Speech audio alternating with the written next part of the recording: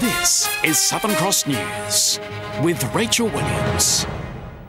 Good evening. Thanks for joining us. The protection of children in out of home care dominated Parliament again today. The mudslinging match so fierce, the Speaker suspended question time. The Human Services Minister survived a no confidence motion, and despite a barrage of criticism about her handling of the portfolio, the government is adamant Jacquie Petrusma's position is safe.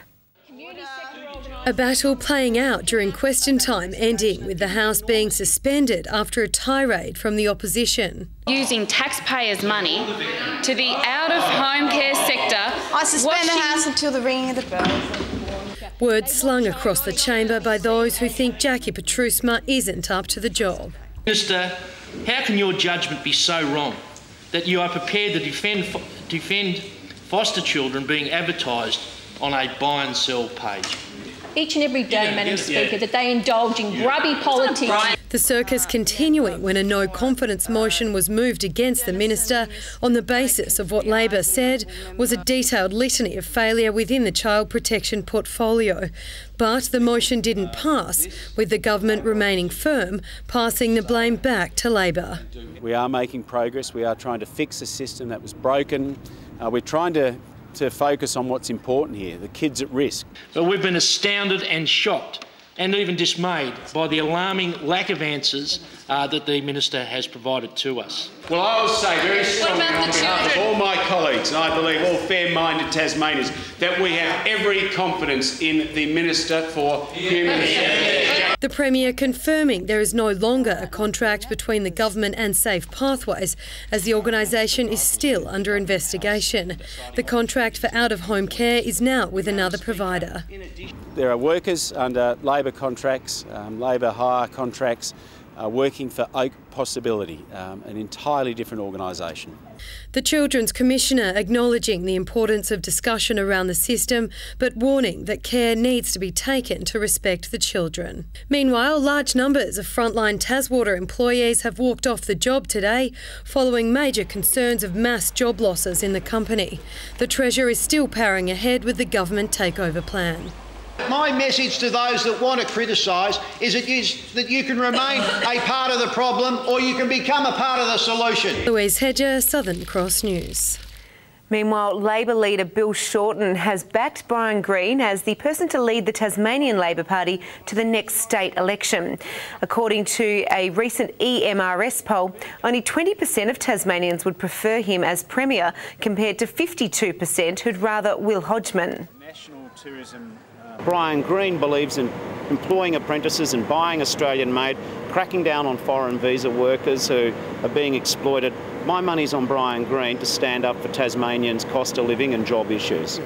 Mr Shorten was in Tasmania to tour the Norske Skog paper plant just outside New Norfolk as news broke that the nation's jobless rate has risen to 5.9%, the highest it's been in more than a year. We're at 1.8 million plus of our fellow Australians who either can find no work or insufficient work, and this is a problem, and we need to have a plan for jobs. Positive news though for Tasmania, our unemployment rate fell to 5.8% in line with the national average. A man who pleaded guilty to robbing a Sandy Bay pharmacy has had his sentencing adjourned while the court considers the psychological impact on victims. Wielding a knife, Benjamin Robert Joseph demanded medication from the Magnet Court pharmacy before fleeing on foot. The Launceston Supreme Court heard one victim claims to have developed a post-traumatic stress disorder following the incident in October last year. Joseph has been remanded in custody. He will reappear on March 27. The son of a prominent West Tamar local government figure is defending allegations he defrauded his late father of more than $100,000. Andrew Eric Roach fronted the Launceston Supreme Court today for day two of his trial. He's accused of leaving his father, Trevor Roach, without enough money to cover future living expenses while acting as power of attorney since 2012. Trevor Roach served as West Tamar Mayor in the late 90s and was president of Bowls Tasmania. The trial continues tomorrow. A stunning bright blue glow in Tasmanian waters is making headlines across the country, and it's not just in the state's northwest where beachgoers are enjoying the sight. Launceston's Jacob Collings captured this spectacular vision at Georgetown's jetty late on Tuesday night. He says it's the second time he's witnessed the bioluminescence event after seeing it in Hobart last year.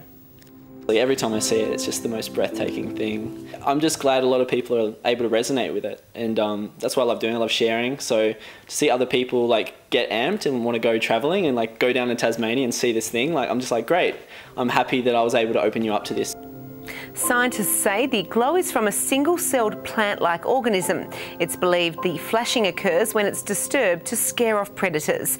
Experts expect the organisms to move south in the next few weeks. It might be one of the Launceston Football Club's last hitouts before the season begins, but tomorrow night's Legends game is more about banter than ball skills. The inaugural clash will see the club's senior side take on retired players under lights at Windsor Park. It's only two weeks until round one of the TSL, but players are eager to jump on board. Yeah, they were. It was. Uh, I reckon we play on the Saturday as well against Bracknell, so there was a few guys that I had to be a little bit careful of, but they were all throwing their hand up to get out there on the park. Yeah, a little bit nervous. Not so much on the on the competition, making sure the body gets through. That's probably the uh, the, the hardest thing for the the team behind me. Although the Launceston seniors are favourites, the Legends team has made a handy pickup. Former North Melbourne midfielder Nick Dal Santo will lace up his boots for the side. Hundreds of Tasmanian school children are joining in a conversation about art. They're being inspired by the Glover, Glover Prize exhibition and learning about the changing concept of landscape painting. In what would have been his 250th year of birth, it's clear landscape artist John Glover's legacy lives on. These college students learning there is no end to what classifies as art. I love it. There's a huge diversity. Like there's some really realistic ones and then some really abstract ones. And um, yeah, lots of different mediums used. The Glover Arts in Education program that's been running all week aims to inspire our next generation of artists. Those running the workshops encourage students to look at what they normally wouldn't like. It's often in those moments of works that they're a bit edgy, they're a bit uncomfortable, that are a bit strange, that you can actually get engaged in something that's, that's more than your personal taste, that can teach you about life. I'd love to get inspired, I'd love to get a lot of ideas, see what's really possible for me to do. The $40,000 Glover Prize has already been awarded to Raymond Arnold, but the public can vote for the People's and Children's Choice Awards until Sunday. The younger people are often a bit more, a bit braver. The exhibition is open to the public again on the weekend. Monica Dadson, Southern Cross News. And now to look at the day's other business and finance news with thanks to Tasplan, your local super fund. The share market has surrendered most of its early gains in the wake of disappointing jobs figures. The ASX 200 index has risen by 11.8 points. A short time ago, the Australian dollar was trading at 76.88 US cents and 109.9 New Zealand cents. Now to some breaking local footy news now, and Tigers TSL coach Scott Matheson has been sacked by the club just over two weeks out from the start of the season. It's understood Matheson has been stood down after failing to meet club expectations. The former Devils player was appointed in October, taking the reins from Adam Henley. It's believed Development League coach Aaron Vince is the front-runner to take over the role. Tasmania's bowlers have impressed on day one of its final round Shield clash with South Australia, with debutant Gabe Bell taking three wickets. With Ferguson and Weatherald gone, Hamish Kingston combined with Tim Paine to remove Travis Head. Jake Lehmann made a 25-run stand but became Rainbird's first victim before Paine got involved again with a stunning piece of glove work to remove the threatening Dalton. Cooper and Mennie also fell cheaply. South Australia all out in its first dig for 225. Tasmania got off to a poor start with Chad Sayers removing Caleb Jewell with the fourth delivery of the innings. Rain delayed the start of play this morning with today's final session wrapping up just a short time ago. The Hobart Chargers women's team has locked down its second import for season 2017. American point guard Cassie Cook will join the team, lining up alongside Kathleen Shear and replacing Chelsea Schwiers. about getting the right person and the right fit for the group. Um, in terms of personality and leadership and that type of thing. Uh, position was obviously a want, but not necessarily um, what we were married to. The team also has a third major recruit lined up from interstate. Uh, we're in talks with, with a couple other players to fill the third spot essentially, so an unrestricted Australian. Um, so we should hopefully have an announcement for that before the first game. SEABL action gets underway next Saturday night when all four Tasmanian teams kick off their season at the Derwent Entertainment Centre. Hobart boxer Luke Jackson has added another skill to his repertoire following another intense training camp in Sydney. The hometown hero looking to utilise some newfound power when he takes to the ring in Hobart on Saturday nights. He's known as one of boxing's marathon men, using fitness and work rate to grind down his opponents. But Luke Jackson is done with simply outlasting his foes. He wants to outmuscle them too. I want people to see a different side of me. They've seen me box um, you know, two 10 round fights now. They know I can box, and the first fight I had here, I got to stop it, so I want another knockout. That's the takeaway from his latest Sydney training camp with master trainer Billy Hussein. He'll put that newfound power into action this Saturday night at City Hall when he bumps fists with African Mohamed Kambuluta. I've worked on taking some risks and. Um, and I'm, I'm gonna, I'm gonna take some risks in the fight. I'm gonna be smart, obviously, but I'm gonna, I'm willing to take a little bit to get the knockout. As always, Jackson's supremely confident of adding the W. He insists he has bigger fish to fry, though. It's a bout with former sparring partner Joel Brunker he really wants, and one that could happen pending results over the coming days. Uh, look, we'll just wait and see what happens after the weekend, but that's the fight that we want, and um, hopefully we can make it happen. Um, he's fighting tomorrow night. If he gets the win, I get the win, maybe we can make the fight happen. But look, I'm ready for anyone and everyone, whatever. Jackson and Kambuluta will contest Saturday night's main event in Hobart. There's six other fights on the card though, all professional bouts featuring the cream of Tasmanian boxing.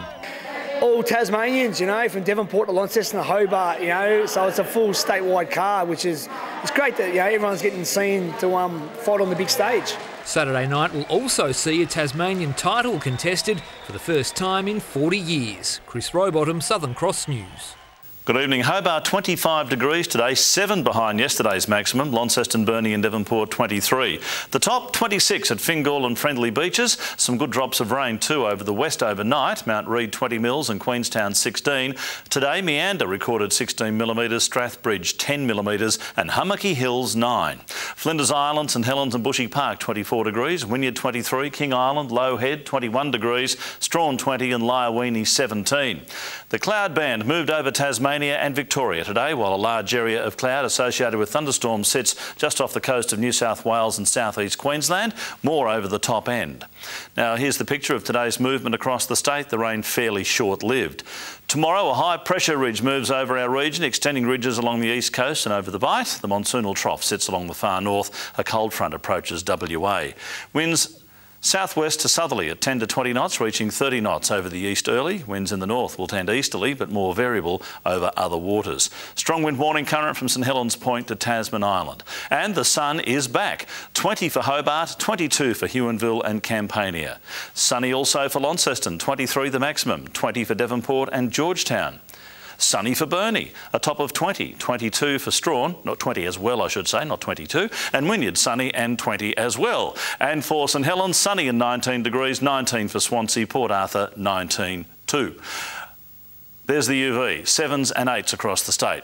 On Saturday, fine and mostly sunny apart from late drizzle over the northwest. Some morning drizzle over the north on Sunday, but fine for most of the state for most of the day. Showers on Monday, mainly over the west and north in the afternoon.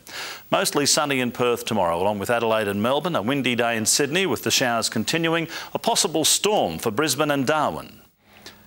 Partly cloudy conditions at the moment, 20 degrees in Hobart, Launceston 21 and 20 right now in Devonport. Very important day on the Murphy calendar tomorrow, Rachel. It's the one day of the year that I've forced myself to drink green beer. St Patrick's Day, is it? I don't know. I don't know. Thanks for that, Murph. We'll go and check the calendars. That's all your news for now. I'll be back later with updates if I can work out what I'm doing. Thanks for joining us. Good night.